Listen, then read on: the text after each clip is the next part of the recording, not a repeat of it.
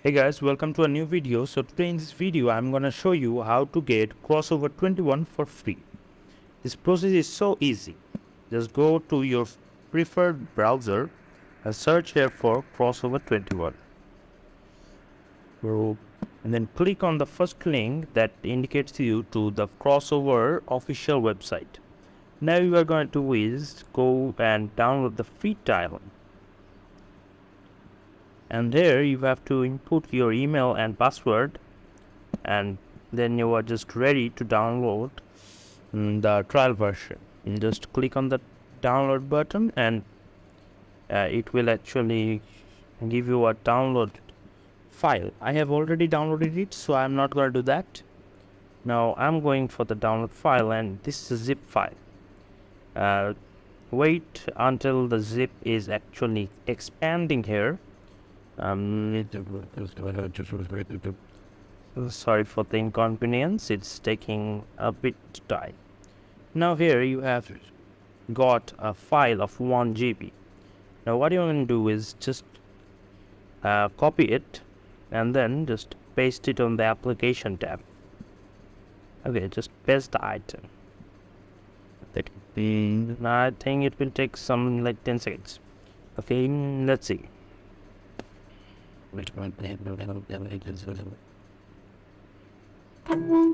Then when you are done, just uh, you will get the file actually. Let's go and search up search this app here. Crossover. Here is the crossover. You can see it's verifying itself. Okay, just open it. Now it will say I'm actually making it no cut it says 14 days. Okay so you can just do is just turn this off. Okay now you have to download another app that is actually named as prefs editor. And here we will get some press prefs editor and let's see. This is the app actually you have to download it. I will give the link in the pinned comment or actually in the description box. So I have already downloaded it. Uh, here it is prefs editor. Okay you have to just keep it actually here just keep it and just close this. Just keep it on the docs okay?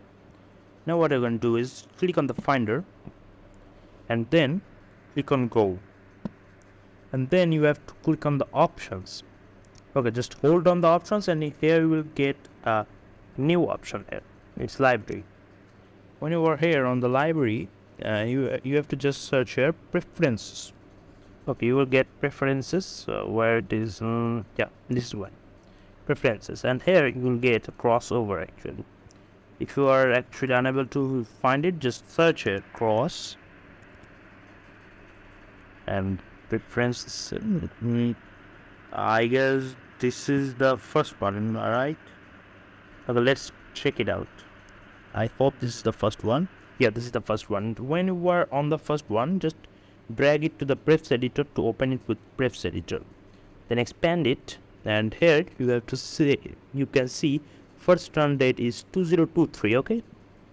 Just come here and you can just do is replace the 2 with 1 it's 1023 okay?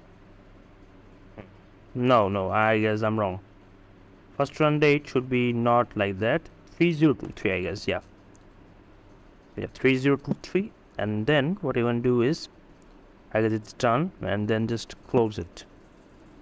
Close it again and then just go to launchpad and relaunch the crossover. Now you can see you have actually 3 6 5 2 5 5 days.